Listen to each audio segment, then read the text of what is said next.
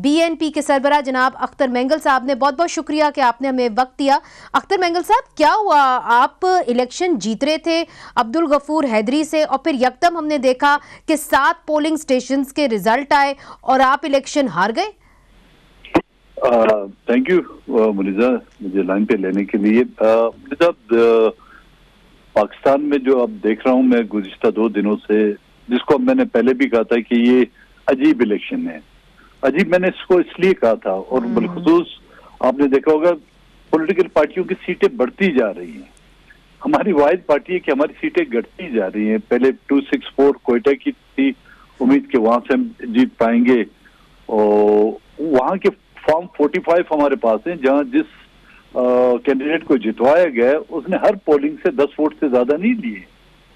तो तमाम फॉर्म 45 हमारे पास जमा पड़े हुए हैं। और फिर आते हैं हम 261 जो नौ, नौ तारीख से जो है ना बाकायदा इलेक्शन कमीशन की वेबसाइट पे भी हमारे नाम पे आई। फॉर्म 47 जो आर ने हमें दिया उसमें भी मेरा नाम था। सत्तावीस हज़ार के करीब मेरे वोट थे पच्चीस हज़ार के करीब मौलाना हैदरी साहब के थे। और इलेक्शन के दौरान जोहान इलाका है कलात का वहाँ पे तीनों पॉलिटिकल पार्टियों ने जेयूआई पाकिस्तान पीपल्स पार्टी और बीएनपी ने। उनके प्रोविंशियल कैंडिडेट्स ने एप्लीकेशन दी थी कि जी यहाँ पर पोलिंग नहीं हो पाई है तो यहाँ पे रिपोल कराया जाए। तो उसी लेटर को लेटर लिखा है और डिस्ट्रिक्ट इलेक्शन कमिश्नर ने में ये लेटर लिखा हुआ है जो मैंने आपको भिजवा दिया आप स्क्रीन पर उसको दिखा सकते हैं कि यहाँ पर इलेक्शन नहीं हुए तो यहाँ पे इलेक्शन कराए जाए और हमारे जो एम एन हैं वहाँ पे गफूर हैदरी साहब जो भी कंटेस्ट उन्होंने भी लेटर लिखा हुआ है वो लेटर भी हमने शेयर किया हुआ है। वो भी कहते हैं कि जी यहाँ पर पोलिंग नहीं हुई है। तो मैं हैरान हूँ तो फिर रिकाउंटिंग उन पोलिंगों पे वोटों की रिकाउंटिंग कैसे हो सकती है जहाँ पे पोल वोट हुए ही नहीं है? तो ये वही जादू के करिश्मे जिसको जुलरू एक जमाने में कहा गया था आजकल तो मॉडर्न जमाना है कंप्यूटराइज दुनिया हो गई है। तो ये सिर्फ़ एक हल्के की बात नहीं है पूरे बलुस्तान में जो है ना उन्होंने दम बचाई हुई है। लोगों के नतज बदल करना, इलेक्शन से पहले, इलेक्शन के दौरान, और इलेक्शन के दौरान लोगों में खौफ तारी करना कि लोग पोलिंग पे ना आए। और वजह यही कि अपने मनपसंद लोगों को जो यहाँ से इलेक्ट कराएँ। अगर उनको वाकई इलेक्शन इस तरह तो वो बैठ के जीएचक्यू में बैठ के उनका अनाउंस करते हम सर हम तस्लीम कर लेते उनको इनकार नहीं करते। और ये ड्रामा करने की ज़रूरत क्या थी कि लोगों को भी सर्दियों में ख्वार करें कैंडिडेट्सों को भी ख्वार करें और ये अखराज भी करें। एक फरमान वहाँ से जारी करते थे कि बलुस्तान से जो सोलह जनरल नशस्तें हैं या फिफ्टी वन के करीब जो आपकी प्रोविंशियल असेंबली की नशस्तें हैं वो ऐलान कर देते हम मान लेते हैं। हम कौन सा इनकार करते हैं। मगर आपकी चीफ इलेक्शन कमीशन से कोई बात हुई है या इलेक्शन कमीशन से कोई बात हुई है? क्योंकि आपने कंप्लेंट तो ज़रूर की होगी। तो उन्होंने कोई जवाब दिया आपको? आ, हम जब आरओ से या डी से हम बात कहते हैं वो सिर्फ़ ये कहते हैं कि आप समझदार हैं हम समझ जाए। तो हम भी समझदार हैं। इतना अरसा हमें हो गया सियासत में। तो इतनी समझ हमें भी आ गई कि वो क्यों ये कहना चाहते हैं कि समझ जाए। अच्छा तो ये तो बड़ी बात आपने कह दी। अब आपका अगला लाए अमल क्या होगा? जगह जगह बलूचिस्तान में रोड्स बंद हैं।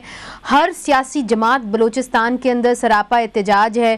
क्या आप मुख्तलिफ़ जो नेशनलिस्ट पार्टीज़ हैं, उनके साथ मिल बैठ के अगला लाए अमल तय करेंगे? क्या आप लोगों की कोई जॉइंट स्ट्रैटेजी होगी?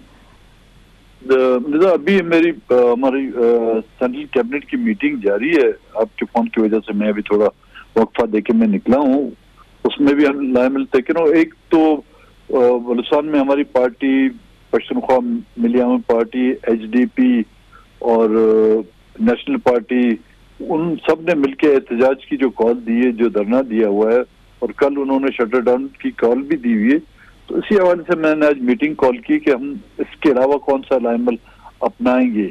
अब इसके अलावा आप सोचें कि एक कोयटे की एक सीट है जी जहाँ पे मेजोरिटी हजारा हमारी कम्युनिटी की है। वहाँ से भी अगर कोई बलोच जीत के आता है तो इससे बड़ा जुल्म ज़्यादा क्या हो सकती है? और वो पार्टी जो जमहूरियत पर आ, कहती है कि इस मुल्क में जमहूरियत उन्हीं की मरूम है मेहनत है उस पार्टी से आता है तो फिर आप समझे इस मुल्क की जमहूरियत का क्या हाल होगा। अब क्योंकि आपके पास एक सीट तो आपके पलड़े में आ गई है नेशनल असम्बली में। आपसे रबता किया पाकिस्तान मुस्लिम लीग नून ने या पाकिस्तान पीपल्स पार्टी ने जो मुख्तलिफ़ जमातें कोशिश कर रही हैं कि वफाक के अंदर हुकूमत बनाई जाए और क्या आप आ, उनको वोट डालेंगे हुकूमत साजी में? आप उनका साथ देंगे। अभी तक तो किसी ने मुझसे न रबता किया है ना ही मैंने भी मुनासिब समझा कि उन, उनसे हम रबता रखें।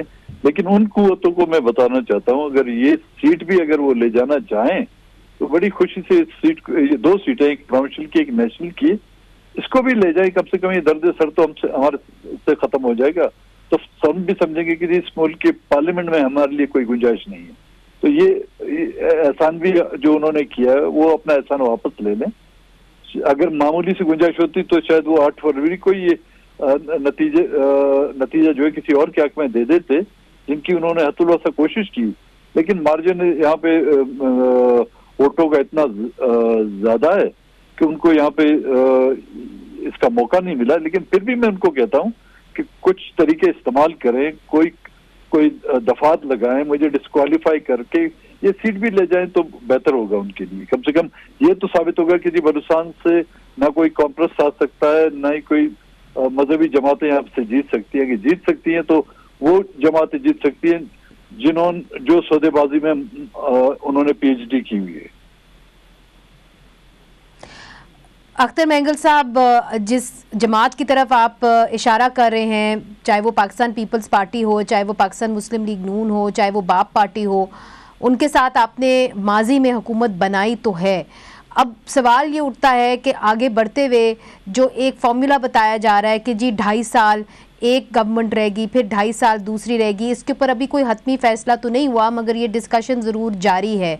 आप कहाँ तक देखते हैं और क्या नेशनलिस्ट पार्टी आपने कहा, सही कहा आपने कॉम्परस पार्टीज़ का बिल्कुल एक तरीके से सफाया हो गया बलूचिस्तान में।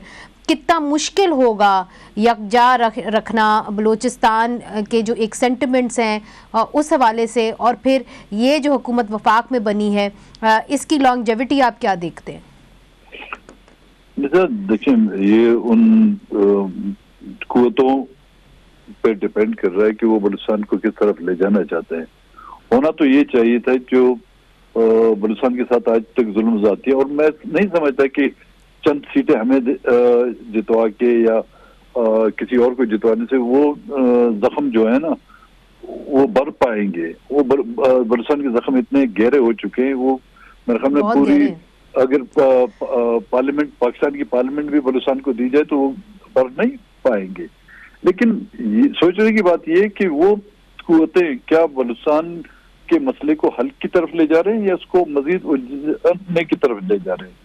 वो लोग जो आपकी पार्लिमानी सियासत या आपके आइन के तहत जिस आ, वो उस सियासत में हिस्सादार हैं जब आप उनको मायूसी की तरफ़ ले जाएँगे जो बाहर बैठे हुए हैं जो पहाड़ों पर बैठे हुए हैं उनके लिए आप क्या मैसेज उनको क्या मैसेज दे, दे रहे जो बिल्कुल आपसे बात करने के लिए भी तैयार नहीं है। जो जिस फार्मूला आपने दिया हुआ है मुझे नहीं लगता ये दोनों पार्टियाँ या तीनों पार्टियाँ या जितनी भी पार्टियाँ वफाक में वो इस तरह के फार्मूले पर बैठेंगी। अगर बैठ भी गई, मुझे नहीं लगता कि ये ड्रामा जो है बहुत अरसे तक चल पाएगा। क्योंकि हम डेढ़ साल में जब पीडीएम की जब हुकूमत थी, उसमें भी रोज़ाना आपने देखा ना था देखते होंगे, कभी हम नाराज़ होते तो कभी एम एमक्यूएम नाराज़ होती थी, कभी पीपल्स पार्टी नाराज़ होती थी, कभी जेयूआई और बड़ी मुश्किल से उस डेढ़ साल को चलाया गया। और ये मैक्सिमम मैं समझता हूँ, अगर इस तरह की हुकूमत बनी भी तो एक साल से ज़्यादा नहीं चल सकेगी। हाँ ये हो हो के जी, इस वक्त जिसकी भी मेजोरिटी है, चाहे वो उसको, उनको उस पार्टी का सिंबल नहीं दिया गया है, पहले मौका उनको दिया जाए। अगर हम वाकई, हम वोट को इज़्ज़त देना चाहते हैं, या वाकई हम इस हम जमहूरियत के अनबरदार हैं तो जमहूरीत की अनबरदारी की लाज रखते हुए वोट की लाज रखते हुए हम उनको मौका दें जिनकी एक्सपीरियंस है।